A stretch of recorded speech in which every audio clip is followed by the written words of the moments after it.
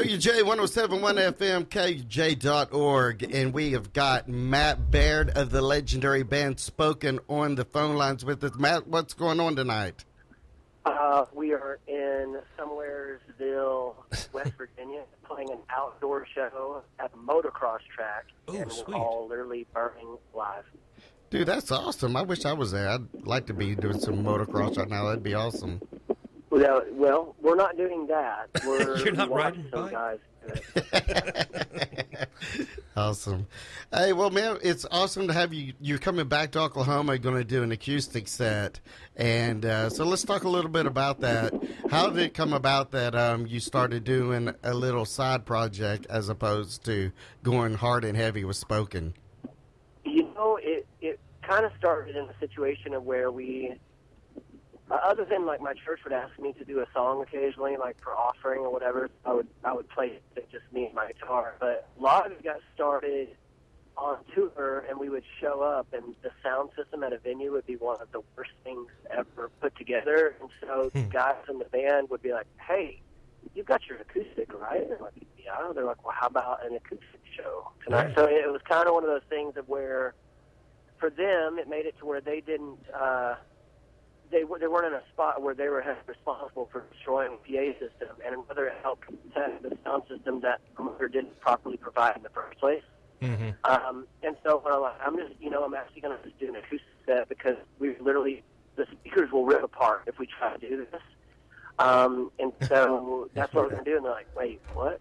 Acoustic? How does that even work? And then so I do an acoustic set, and they're like, that actually went really well. Thanks for setting our sound system. And so that's how it kind of got started. Um, and then just with my church asking me more and more to, to do songs, I would ask them what the sermon series was going to be about, you know, coming up, whenever that was, and would try to, I try to write a song around the sermon series. So that was kind of cool. Yeah. And then you add to that, like, um, I, I got to where I was doing acoustic tours between every spoken tour because I didn't want to, uh, I didn't want to go do trim carpentry and take a chance on cutting my arms off. Yeah, that'd be kind of a bad deal for You know. sure. It's literally that's. I was like, if I can, if I can do music and make a living playing music, whether it be acoustic or with spoken or Mhm. guest worship at churches on Sunday mornings, that's that's what I would rather Yeah. do, and so that that's how it got it got going. It's just a bunch of things crammed in one. Ah, well, now we know, man. Okay. So, man, Spoken's been around like forever. When did the band Spoken actually get started? Uh, February 10th of 1996 is when uh, we kind of made the decision, like, let's actually do this. Yeah, it, it is specific because it was a big deal. It was Yeah. such a huge thing where, like, let's, actually do this, Mhm. and, uh, you know, we felt it was a calling by God, so that's when it started. Would you say uh, because I'm familiar with early day spoken, been on the radio, so I actually started radio in '96 as well. So uh, that's pretty. We we've been doing this about the same length of time, but you guys' music has really changed over the years. You have been one of those bands that has been able to keep turning with the flow of the music. So how has that, in your ways, writing music changed with the way you approach things? Well, I mean, a lot of it is uh, one, like over the years, there's been different members come and go throughout the band, and with that brings different musical tastes, different bands that they're listening to currently, different styles of writing music. So that that is one situation of how the band has changed, but another, um, just we want to stay relevant. We want to we want to stay relevant to what you know teenagers are listening to. Hopefully, the people who are adults now and have kids of their own, they they stick with the band just because they love the band. And get to know us as people over the years. But if we if we did the same record that we did in 1996, we would still uh, be trying to sound like Rage Against the Machine currently, and it's not what's current right now. Right. Right. Yep. Well, one thing that is definitely has uh, kept its longevity is your voice. Uh, we actually got the honor of seeing you do a live acoustic setup here, and I couldn't believe how pure and natural your voice is. Uh, hearing it with the acoustic guitar, you know, with the rock, you know, it's a lot of screaming stuff. But when you actually just sing you and the acoustic guitar, you have one of the most purest voices I've ever heard. Yes. Well, uh, that's nice of you. Thank you. Uh, So sweet. last night we were in upstate New York, and it was an outside show um, under a big pavilion, like a farmer's market in a very small town.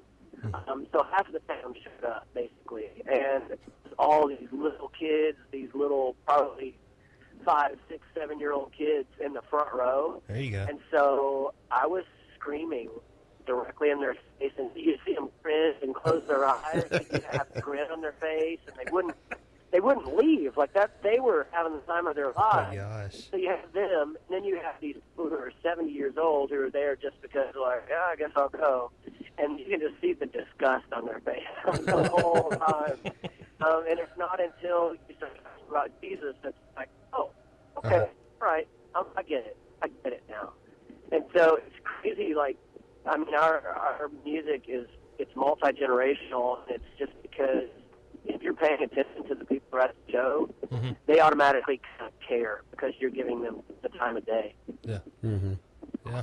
I think it's so important in every aspect of life. Uh, doing youth ministry myself, I'm a youth pastor, and one thing I noticed that every kid just wants to know somebody cares for them. Somebody will just enough to say hello to them. So I, That's I can, true. yeah, so I can totally get what you're saying. When you're on stage and you're you're able to connect with that crowd and just look at that, that eye to eye, that person's like, man, this guy he, he looked at me. He, you know, he actually cares about me, and I think that is huge and important when it comes to in every aspect of ministry. Yeah, people want to. They want to. And they want, they want to be able to tell you what they're feeling and how they're feeling, and you know, kind of that's it. They they want to be able to voice because they're about to blow up. They don't know how to handle it. Mhm. They don't want you to be like, "Here's why you're wrong," feeling the way you feel. They don't want to hear that. Like, Mhm. and so it's like, listen to them, be there for them, love on them the best you can. Don't condone what they're doing if it's they should be done. Right. But what Right. we're supposed Hey, Matt, you're kind of breaking up here. Yeah. here. You're kind of breaking up there for a second. No, it's okay. Sorry. It was, I said something amazing.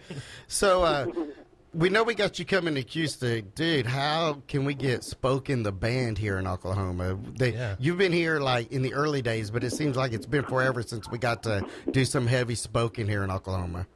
You know, it has been a while. And, you know, the hard thing is, like, we, we're scattered out in multiple states. where We have been since, I mean, honestly, since our, our fourth record came out. Like, we live just all over the place.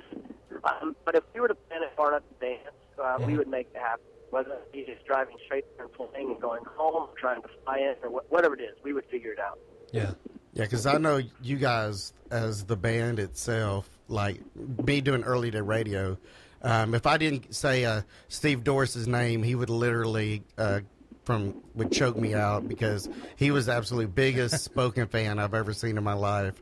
Uh, back when I was at KOKF, so uh, if I didn't tell, let him know that you were his biggest fan, he would be upset right now. So Oh, that's for That's Stephen awesome. Doris. There's your fans for you. Awesome. I think that he's the one that actually brought you to Oklahoma a couple times back in the nineties. Yeah. You know, it's crazy of how many people uh, have brought us there over the years, but how long it's been since we played there. We haven't played the Oklahoma City area since we were. That was literally, I mean, it had to be five years ago. Yeah. Yeah. It's Yeah, we definitely at least are. that. Yeah, we definitely want uh, the band back. But we're super excited about you coming, doing an acoustic set. It's going to be one of those nights where it's going to be a very intimate type show. We want everybody that's listening right now to come out, be a part of it.